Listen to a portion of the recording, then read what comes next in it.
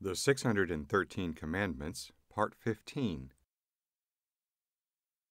This Bible study will examine a sample of Torah commandments to see how they would apply to Christians today.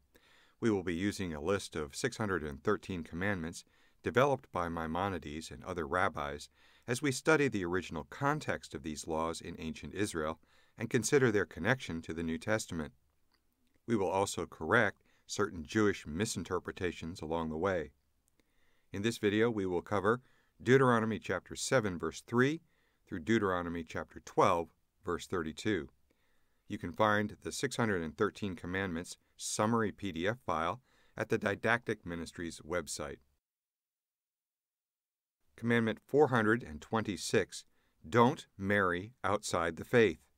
Deuteronomy chapter 7, verse 3 says, You shall not intermarry with them, that is, with the Canaanites giving your daughters to their sons or taking their daughters for your sons. This is a general moral principle that is taught throughout the Old and New Testament. Believers must always marry within the faith. In Exodus chapter 34 verse 16, Moses warned the children of Israel not to take of their daughters, that is the Canaanite daughters, for your sons, and their daughters whore after their gods, and make your sons whore after their gods. In 1 Corinthians chapter 7 verse 39, the apostle Paul wrote, "A woman is bound to her husband as long as he lives, but if her husband dies, she is free to marry anyone she wishes, but he must belong to the Lord." Commandment 427 Destroy all Canaanite idols. Deuteronomy chapter 7 verse 25 says, the carved images of their gods, that is, the Canaanite gods, you shall burn with fire. You shall not covet the silver or the gold that is on them, or take it for yourselves, lest you be ensnared by it, for it is an abomination to the Lord your God. This is a civil commandment that applied to the Israelite army, and an example for Gentile nations to emulate. God hates idolatry so much that the Israelites weren't even allowed to take the gold and silver from the idols for themselves. The Apostle Paul taught Christians to follow this Torah commandment as well. In Romans chapter 2, verse 22, he asked, You who abhor idols, do you rob temples? This is a rhetorical question. The Apostle Paul implied that the answer is no. Of course, Christians should not rob temples. Believers shouldn't profit from the buying or selling of anything related to idolatry and should carefully avoid anything associated with paganism, such as Christmas, New Year's Day, Valentine's Day, Easter, May Day, Halloween, and other pagan festivals or superstitious traditions. In 1 Corinthians chapter 10 verse 14, the Apostle Paul said, Therefore, my dear friends, flee from idolatry. Also in Ephesians chapter 5 verse 11, Paul wrote, Have nothing to do with the fruitless deeds of darkness, but rather expose them. Commandment 428 Don't bring an idol into your house. Deuteronomy chapter 7 verse 26 says, And you shall not bring an abominable thing that is, a Canaanite idol, into your house, and become devoted to destruction like it. You shall utterly detest and abhor it, for it is devoted to destruction. This is a general moral command that applied to Israelites and resident aliens alike. Believers shouldn't allow any abomination to come into their homes and should avoid anything associated with paganism or idolatry, such as Christmas, New Year's Day, Valentine's Day, Easter, May Day, Halloween, and other pagan festivals or superstitious traditions. This is consistent with what the apostle Paul taught in 1 Corinthians chapter 10 verse 14 and Ephesians chapter 5 verse 11. Commandment 429 Thank God for his blessings. In Deuteronomy chapter 8 verse 10, Moses wrote, When you have eaten and are satisfied, praise the Lord your God, for the good land he has given you. This is a general moral command that is taught throughout the Old and New Testament. Israel was to give thanks for the promised land, but all believers should express gratitude to God for the many blessings that he provides. Notice in Matthew chapter 15 verse 36, he, that is Jesus, took the seven loaves and the fish, and having given thanks, he broke them and gave them to the disciples, and the disciples gave them to the crowds. Also in Luke chapter 24, verse 30, when he, that is Jesus, was at table with them, he took the bread and blessed and broke it and gave it to them. Finally, in 1 Thessalonians chapter 5, verse 18, Paul wrote, Give thanks in all circumstances, for this is the will of God in Christ Jesus for you. Commandment 430 Love the foreigners living among you. Deuteronomy chapter 10 verse 19 says, And you are to love those who are foreigners, for you yourselves were foreigners in Egypt. This is a moral command for the Israelites living in the promised land, and it serves as an example for Gentile nations to emulate. It is a specific application of the golden rule. In Matthew chapter 7 verse 12, Jesus taught his disciples, "Do unto others whatever you would like them to do to you." This is the essence of all that is taught in the law and the prophets. All human beings are children of Adam and Eve, so we should treat each other as if we are family. Commandment 431 Respect the Lord your God. Deuteronomy chapter 10 verse 20 says, "You shall fear the Lord your God." This is a general moral command that is taught throughout the Old and New Testament. The Hebrew term for fear is yareh, which means to be afraid, to be in awe, to reverence and honor. Everyone should have awe and respect for God, but those who obey God never need to fear him. In Leviticus chapter 10 verse 3 we read, Then Moses said to Aaron, This is what the Lord spoke, saying, By those who come near me I will be treated as holy, and before all the people I will be honored. In 1 John chapter 4 verse 8, the apostle John wrote, There is no fear in love, but perfect love casts out fear, for fear has to do with punishment and whoever fears has not been perfected in love. So Yareh in this commandment means to have awe and respect, reverence and honor for the Lord our God.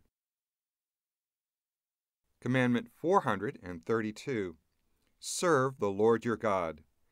Again, Deuteronomy chapter 10 verse 20 says, You shall serve him, that is, serve God. This is a general moral command that is taught throughout the Old and New Testament.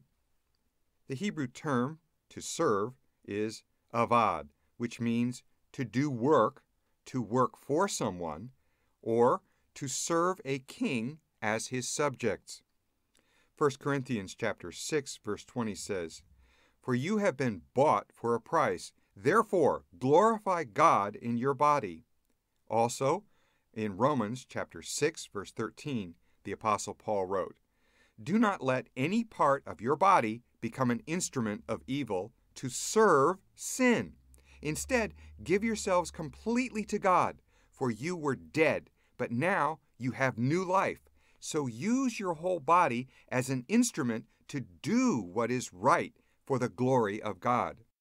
So the principle that is found in Deuteronomy chapter 10 verse 20 is that we should work for God as if he is our employer. We should serve him because we are subjects of the King of the universe. Commandment 433 Hold fast to the Lord your God. Again in Deuteronomy chapter 10 verse 20, you shall serve him and hold fast to him, that is hold fast to God. This is a general moral command that appears throughout the Old and New Testament. In John chapter 15 verse 4, Jesus said to his disciples, Abide in me, and I in you. As the branch cannot bear fruit by itself unless it abides in the vine, neither can you unless you abide in me. By abiding, here Jesus means to hold fast to him. In 1 John chapter 2 verse 28, the apostle John wrote, "And now, dear children, remain in fellowship with Christ, so that when he returns, you will be full of courage and not shrink back from him in shame." Again, John is emphasizing this principle of being in fellowship with Christ, holding fast to him. Commandment 434 Swear by the Lord your God. Again, in Deuteronomy chapter 10, verse 20 You shall serve him and hold fast to him, and by his name you shall swear. This is a general moral law that appears throughout the Old and New Testament. No one is required to swear a vow, but if someone does, he must swear by God's name and not the name of the false gods of the pagan nations. However, Jesus encouraged his disciples not to swear any vows or oaths. In Matthew chapter 5, verse 34, Jesus told his disciples during the Sermon on the Mount, But I say to you, do not take an oath at all. Also in James chapter 5, verse 12, But above all, my brethren, do not swear, either by heaven or by earth or with any other oath but your yes is to be yes, and your no, no, so that you may not fall under judgment. Commandment 435 Destroy all Canaanite worship sites. Deuteronomy chapter 12, verse 2 says, You shall utterly destroy all the places where the nations whom you shall dispossess served their gods, on the high mountains and on the hills and under every green tree. You shall tear down their altars, and dash in pieces their pillars, and burn their asherim in the fire. You shall chop down the carved images of their gods, and destroy their name out of that place. This is a civil command that applied to Israel's leaders. The army was to destroy all Canaanite shrines or temples when they conquered the promised land. At first, Israel fell into apostasy and disobeyed God. Eventually, they repented and fulfilled this command. Believers today should also rid themselves of anything associated with paganism or the occult. Notice this example in Acts chapter 19 verse 18. Many who became believers confessed their sinful practices. Verse 19, a number of them who had been practicing sorcery brought their incantation books and burned them at a public bonfire. The value of the books was several million dollars. Here we see Christians zealously repenting of their former conduct. When they became believers, they rid themselves of everything associated with paganism or the occult. Commandment 436 don't worship God using pagan practices. Deuteronomy chapter 12 verse 4 says, "You shall not worship the Lord your God in that way, that is, according to the way of the Canaanites, who were pagans." This is a general moral command that is taught throughout the Old and New Testament.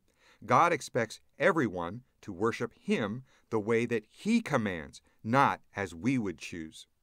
Notice what Moses further wrote in Deuteronomy chapter 12, verse 29.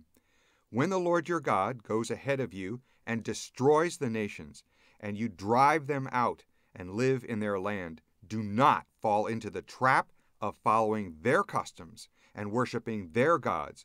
Do not inquire about their gods, saying, How do these nations worship their gods? I want to follow their example. You must not worship the Lord your God the way the other nations worship their gods, for they perform for their gods every detestable act that the Lord hates. They even burn their sons and daughters as sacrifices to their gods. Commandment 437 Bring all your sacrifices to God's sanctuary.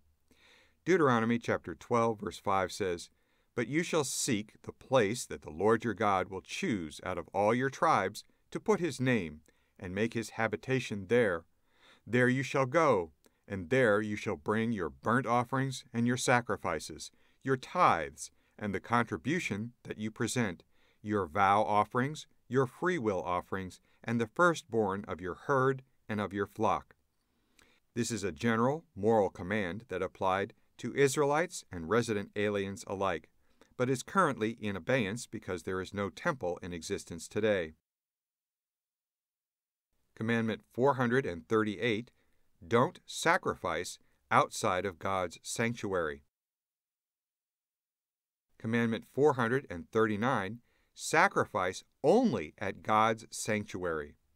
Deuteronomy chapter 12 verse 13 says, Take care that you do not offer your burnt offerings at any place that you see, but at the place that the Lord will choose in one of your tribes, there you shall offer your burnt offerings, and there you shall do all that I am commanding you. This is a general moral command that applied to Israelites and resident aliens alike, but is currently in abeyance because there is no temple in existence today. There is only one place where people should bring their sacrifices, that is, to the city of Jerusalem and to the sanctuary that was established there. Commandment 440 Common animals can be eaten anywhere. Deuteronomy chapter 12 verse 15 says, However, you may slaughter and eat meat within any of your towns, as much as you desire, according to the blessing of the Lord your God that he has given you. The unclean person and the clean person may eat of it, as of the gazelle and as of the deer. This is a general moral command that applied to Israelites and resident aliens alike. If an animal was not holy, that is, set apart for sacrifice, it could be butchered and eaten anywhere by anyone. Sacred animals, however, had to be sacrificed at God's sanctuary, and a person had to be ritually clean in order to eat it. Deuteronomy chapter 15 verse 21 explains, But if an animal has any blemish, if it is lame or blind, or has any serious blemish whatever, you shall not sacrifice it to the Lord your God. You shall eat it within your towns. The unclean person and the clean person alike may eat it, as though it were a gazelle or a deer. And so, any animal that was dedicated for sacrifice had to be brought to the Lord's sanctuary and offered as a sacrifice there. Other animals that were from the herd or the flock could be butchered and eaten in the towns and cities where they lived at any time. No one had to be ritually clean in order to eat this meat. Commandment 441 Don't eat second tithe grain within your town. Commandment 442 Don't drink second tithe wine within your town. Commandment 443 Don't consume second tithe oil within your town. Deuteronomy chapter 12 verse 17 says, You may not eat within your towns the tithe of your grain, or of your wine, or of your oil, or the firstborn of your herd or of your flock, or any of your vow offerings that you vow, or your freewill offerings, or the contribution that you present. This is a general moral command for all believers. God set apart the first tithe to be given to the Levites as their pay to provide for their ministry. God also commanded the Israelites to set apart a second tithe that was to be used for the celebration of his annual festivals. During the millennium, God will require everyone to keep his feast days, so it is logical to conclude that everyone will keep the law of the second tithe to be able to go to Jerusalem and celebrate with God's people there. Notice what is written in Zechariah chapter 14 verse 16. Then the survivors from all the nations that have attacked Jerusalem will go up year after year to worship the King, the Lord Almighty, and to celebrate the festival of tabernacles. So the principle in this passage is clear. All believers should set aside a festival tithe now so that they can afford to travel to Israel, to go to Jerusalem, and observe God's annual festivals in the city where God has placed his name. Commandment 444 Don't eat a firstborn calf within your town. Commandment 445 Don't eat a firstborn lamb within your town. Deuteronomy chapter 12 verse 17 says, "You may not eat within your towns the tithe of your grain or of your wine or of your oil or the firstborn of your herd or of your flock." This is a religious command that applied to the priests who are the sons of Aaron. This command is currently in abeyance because there is no temple in existence in Israel. God required the Israelites to give every firstborn male clean animal to the priests, who would sacrifice them and eat the meat. Notice what is written in Numbers chapter 18 verse 17. But the firstborn of a cow, or the firstborn of a sheep, or the firstborn of a goat, you shall not redeem, they are holy. You shall sprinkle their blood on the altar, and shall burn their fat as a food offering, with a pleasing aroma to the Lord. But their flesh shall be yours, as the breast that is waved, and as the right thigh are yours, that is, for the priests. So the priests, who are the sons of Aaron, got to eat the meat of the firstborn animals as their payment for their ministry to the children of Israel. Commandment 446 Don't eat a vow offering within your town. Commandment 447 Don't eat a free will offering within your town. Commandment 448 Don't eat a peace offering within your town. Deuteronomy chapter 12 verse 17 says, You may not eat within your towns the tithe of your grain, or of your wine, or of your oil, or the firstborn of your herd or of your flock, or any of your vow offerings that you vow, or your freewill offerings, or the contribution that you present. This is a general moral command that applied to Israelites and resident aliens alike, but is currently in abeyance because there is no temple in existence today. God's people must bring their sacrifices to one altar, to the place where God has chosen to put his name, and that is in the city of Jerusalem. Numbers chapter 15 verse 14 makes clear that the Israelites and resident aliens were required to follow the same regulations for sacrifices. And so, the vow offerings, freewill offerings, and contributions were to be offered at God's sanctuary in the place where he would put his name. The Hebrew term for contribution in this passage is terumah, which is associated with the peace offering. This was a free will offering that worshippers got to eat. In other words, they would take it to Jerusalem, offer it as a sacrifice, the fat would be burned on the altar, and the worshiper would get to eat the meat. It was a fellowship offering between the worshiper and God. It was like sharing a meal with Yahweh, the God of Israel. Commandment 449 Don't neglect the Levite. Deuteronomy chapter 12 verse 19 says, Take care that you do not neglect the Levite as long as you live in your land. This commandment applies to the Israelites living in the promised land, but it also serves as an example for all believers to emulate. The Bible clearly teaches that those who minister full time have a right to financial support from the people. Numbers chapter 18 verse 21 says, To the sons of Levi, behold, I have given all the tithe in Israel for an inheritance, in return for their service which they perform, the service of the tent of meeting. This principle is repeated in the New Testament in 1 Corinthians chapter 9 verse 11, where the apostle Paul wrote, "If we sowed spiritual things in you, is it too much if we reap material things from you?" In verse 14 Paul says, "So also the Lord directed those who proclaim the gospel to get their living from the gospel." Commandment 450 Common animals can be butchered anywhere. Deuteronomy chapter 12 verse 20 says, When the Lord your God enlarges your territory, as he has promised you, and you say, I will eat meat because you crave meat, you may eat meat whenever you desire. If the place that the Lord your God will choose to put his name is too far from you, then you may kill any of your herd or your flock, which the Lord has given you, as I have commanded you, and you may eat within your towns whenever you desire. This commandment applied to Israelites and resident aliens alike. Animals that were dedicated to God had to be sacrificed at God's sanctuary, and a person had to be ritually clean in order to eat the meat of that animal.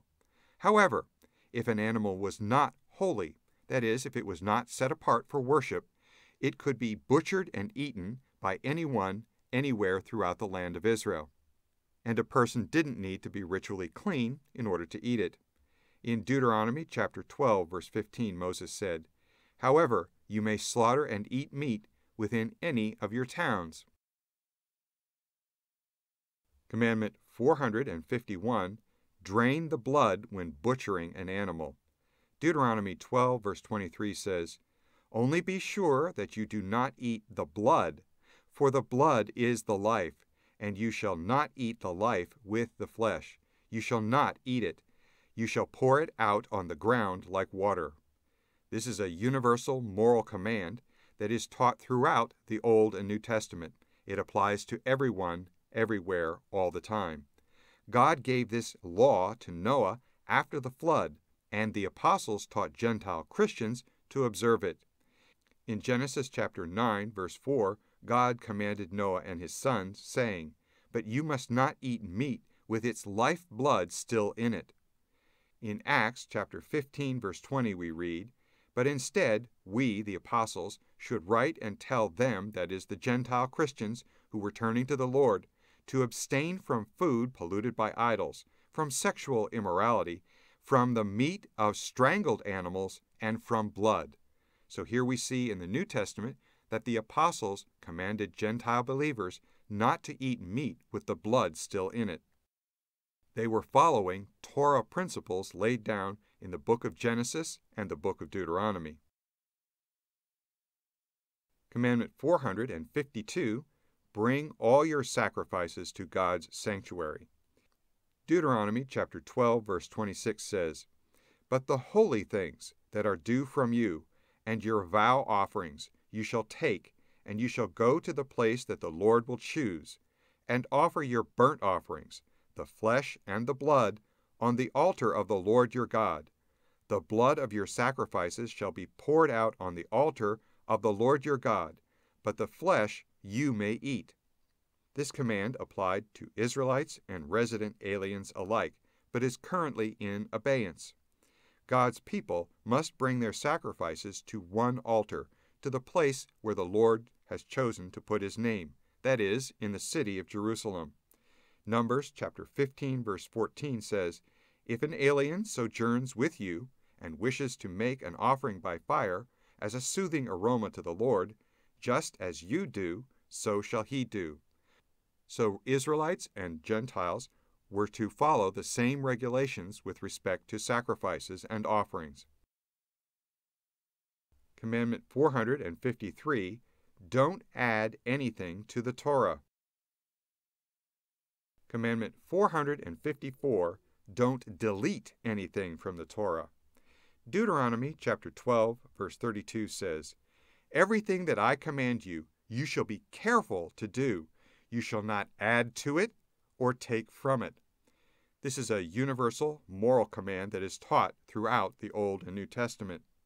In Matthew chapter 5 verse 19, Jesus told his disciples, "Therefore, whoever relaxes one of the least of these commandments, that is Torah commandments, and teaches others to do the same, will be called least in the kingdom of heaven, but whoever does them and teaches them will be called great in the kingdom of heaven."